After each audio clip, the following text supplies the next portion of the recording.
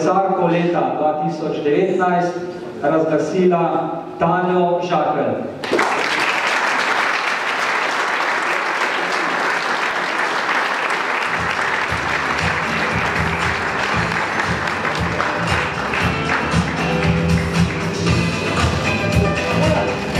Tanja Žakelj je po krajši tekmovalni krizi Po spomladanskih tekmovanjih sta očitno skupaj s trenerjem Samom Rauterjem stopnjevala formo in Tanja je konec julija najprej dosegla deseto mesto na Evropskem prvenstvu na Češkem, nato pa osvojila vzpodbudno osmo mesto na svetovnem pokalu v Aldi Soleju. Na vrhuncu sezone, na svetovnem prvenstvu v Kanadi, je Tanja dirko končala na odličnem osmem mestu in dosegla tudi normo za nastop na olimpijskih igrah v Tokiju. Čestitke.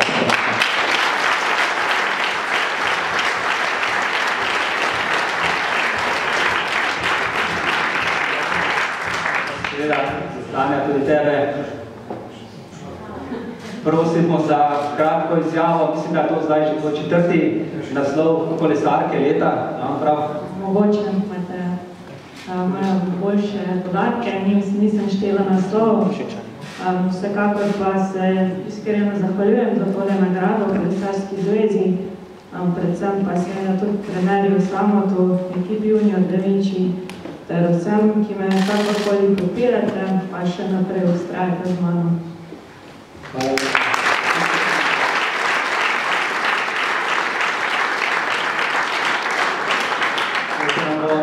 Družil še en podeljevalec, predsednik Kolesarske zveze Slovenije, Tomaš Grm.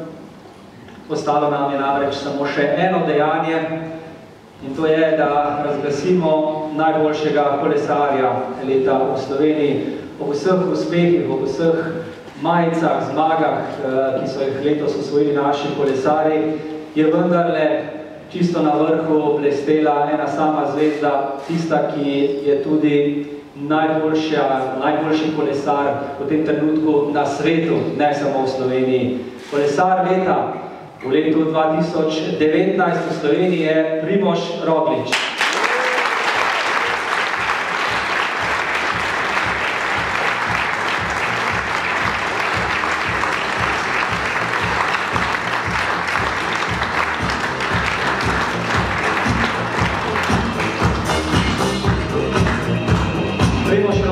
Je v letošnji sezoni postal pravi šampion svetovnega formata, najboljši kolesar celotne sezone na svetu, številka ena mednarodne kolesarske lestvice in ena največjih ikon slovenskega športa v globalnem merilu. Vzgled in ponos vsem, ki nam je kolesarstvo, ta garaški šport blizu. Dominiral je v uvodnem delu sezone, zmagoval je povsod, kjer se je pojavil Emirati, od Tirenskega do Jadranskega morja in na Romandiji. Giro je začel superiorno, potem zaradi bolezni poškodbe končal na tretjem mestu, a pokazal je kleni karakter in neizmirno borbenost. Med turom je okreval in potem vrnil udarec na dirki po Španiji, ki jo osvojil mirno, suvereno in dominantno ob izjemni podpori celotne ekipe Jugo Visma. Zavedno bo to prva osvojena tritedenska dirka in doslej največja zmaga slovenskega kolesarja. Sezono je končal z dvema pomembnima zmagama na enotelnih dirkah v Italiji in dokazal, da nam v prihodnje lahko resno računamo tudi na največjih svetovnih enodnevnih dirkah. Čestitke.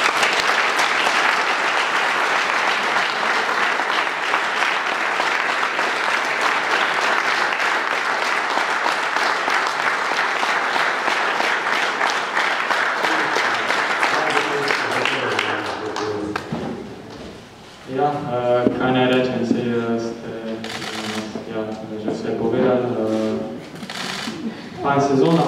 Eh,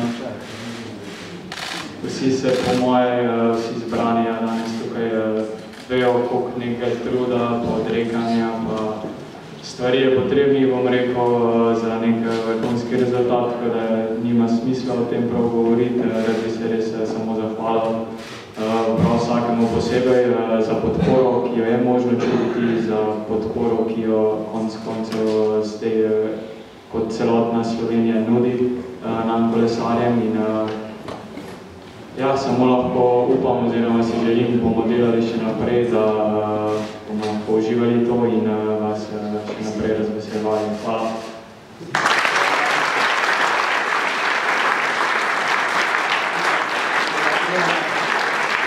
Neka najboljša leta 2019 v Sloveniji ima pravi Šestanja Zakon.